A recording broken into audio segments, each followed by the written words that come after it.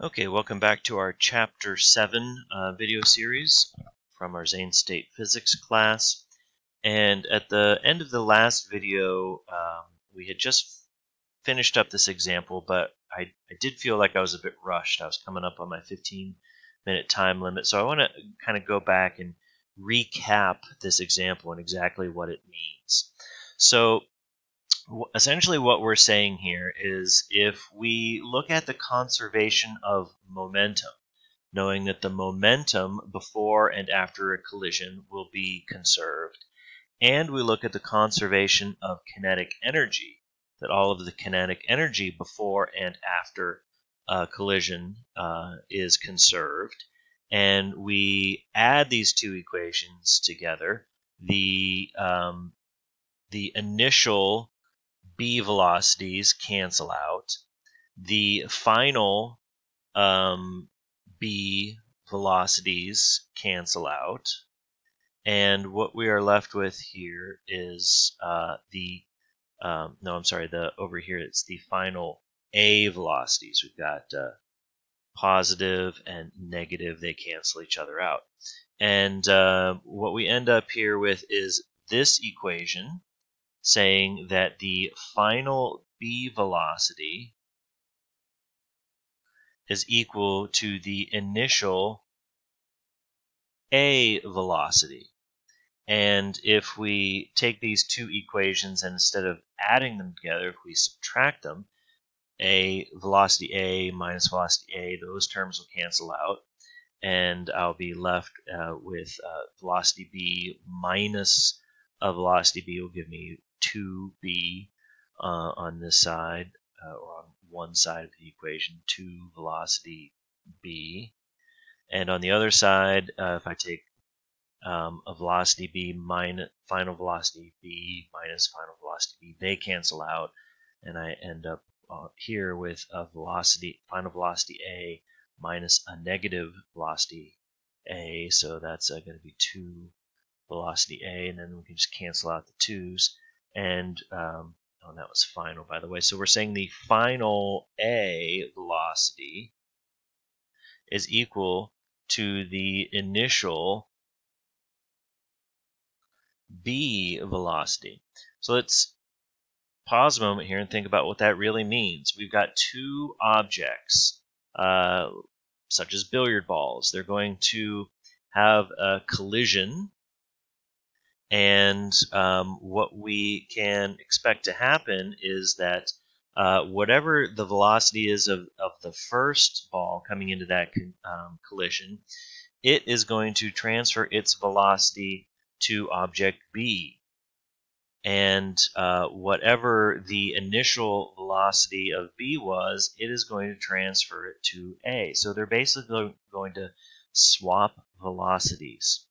So if they're traveling at each other directly with the same velocity, one to the right and one to the left, they'll just simply bounce off of each other, and then the one will go off to the left and one will go off to the right. So the velocity to the left got transferred to the other ball, and this right velocity gets transferred to the other ball, and they just kind of swap the velocities. Uh, also, what is also true is if we have one ball that is at rest, and not going anywhere, and uh, another ball comes along and strikes it, the velocity of this ball is going to be transferred to the other one. And this uh, ball number two, which had a velocity of zero, will essentially be dumped off onto one. So uh, ball number one will remain still, and ball two will travel with the velocity that um, ball number one had. So this may seem a bit confusing, um, but uh, basically we're saying that when two objects collide in an elastic collision, they switch or swap velocities. And uh, again, I want to point out, um, I believe this equation right here is necessary for at least one of the homework problems. This is derived from the conservation of kinetic energy, sort of a simplified form for objects uh, having the same velocity striking each other.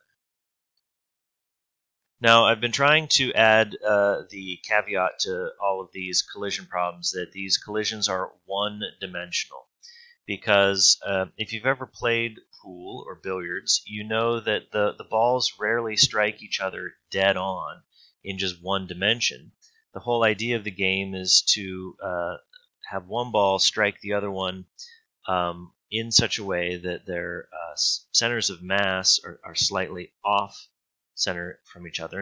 In, other words, you would take ball A and hit it slightly to the left or slightly to the right of the center of B in order to cause the balls to deflect off at different angles. So the math here uh, becomes a little hairy. Uh, so we're not going to solve a problem uh, like this, but we do need to understand conceptually what happens. So if object A strikes B in such a way that A goes off uh, above the x-axis at an angle theta, and B goes down uh, below the x-axis with an angle theta. If these um, objects have the same mass, their um, horizontal, the horizontal components of these momentums. So momentum is a vector. We've got this vector is diagonal, which means it has both a vertical and horizontal component. And this one down here has a vertical and horizontal component. Uh, the sum of the horizontal components, if we add them together, they are going to be equal to the initial uh, momentum of this object here, um, assuming that um, this ball was initially at rest or this object was at rest. So the horizontal components of the momentum are conserved, and uh, these vertical components, they cannot just appear out of nowhere um, because of the conservation of momentum. It can't be created or destroyed. Um, it, it just can't materialize out of nowhere. But if we look at the system as a whole, the momentum of this object going up is going to be equal and opposite to this momentum going down. So the two vertical components cancel each other out. Okay, so uh, momentum is conserved in the direction of the initial momentum. So in this case, in the horizontal direction, the sum of this momentum and this momentum uh, equal this initial momentum.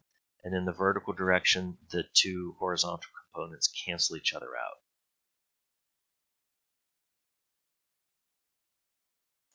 Okay, so I mentioned center of mass in the previous slide, talking about how when you're playing pool, you want uh, one ball to strike the other uh, in such a way that um, if I've got two billiard balls here and this ball is traveling and it does not pass directly through the center of mass of the second ball, um, it isn't going to cause one-dimensional uh, motion, it will cause two-dimensional motion uh, because the, the collision did not pass exactly through the center of mass of the ball.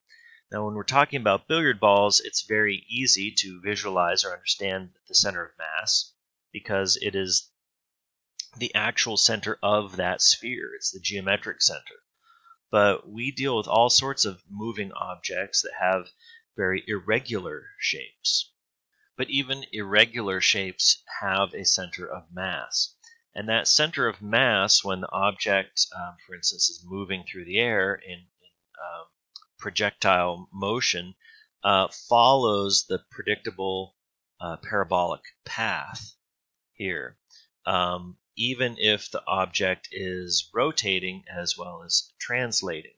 So in this example B here, the diver isn't just simply uh, moving or translating through the air, but she is also rotating.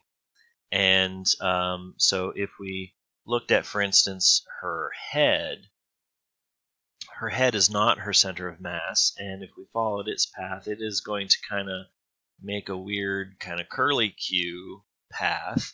But if we focus on just the center of mass, it follows along the predictable parabolic path. So um, when we look at these irregularly shaped objects and we want to kind of simplify a problem uh, about the way it's moving through the air, uh, what we are, like if we do a free body diagram and just represent that object with a single point, that single point is the center of mass. So the total motion that's going on here, for instance, here we see a, a wrench flying through the air. Uh, we have the center of mass represented by these red X's traveling in a horizontal line, but it's also rotating as it uh, translates. And so um, the total amount of motion um, on any point of uh, this would uh, this wrench would be equal to both the translational and rotational motion. So if you uh, you know could shrink yourself down like Ant-Man and hold on to let's say the uh, the end of the handle, you would be moving faster than you would be if you were just uh, resting right there on the wrench, because in in both cases you're translating to the right, but at the end of the handle you're also rotating about the center of the wrench, so you have uh, two forms of motion occurring.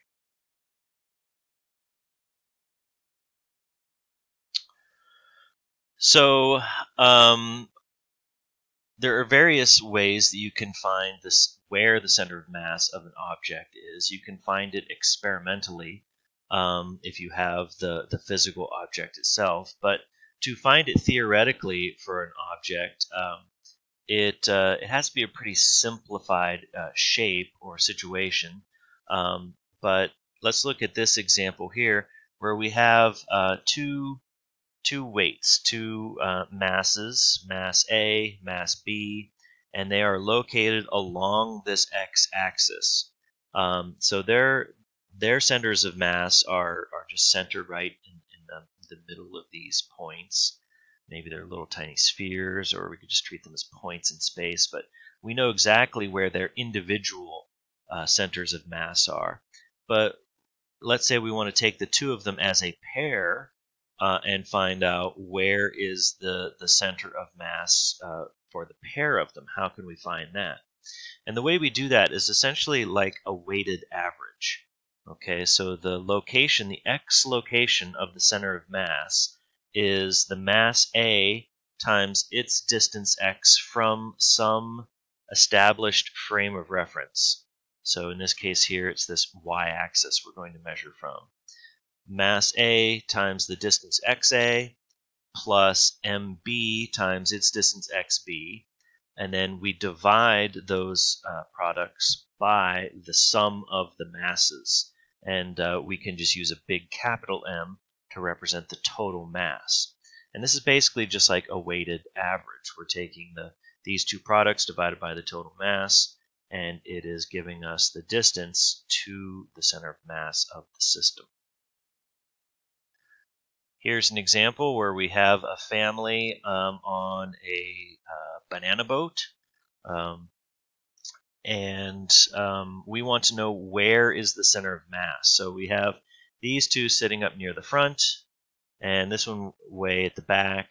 Where is the center of mass going to be? Uh, we could guess that it's eh, probably going to be around here somewhere, but we want to find out specifically uh, where it is, and we can calculate that. So if we use the tail end of this boat as the reference, and um, also in the problem statement, uh, we're going to assume that they all have equal mass. Uh, whoops, wrong way. Um, we can find that by taking the mass of this person, uh, m times the distance from the back of the boat to that person, 1 times 1.0, plus um, this person is 5 meters away from the back of the boat. So that's going to be m times 5.0. And the third person is 6 meters away, m times 6.0. And we're going to divide all of this by 3m. And unfortunately, I'm coming up on my 15 minutes. So I'll have to pause the video here and resume it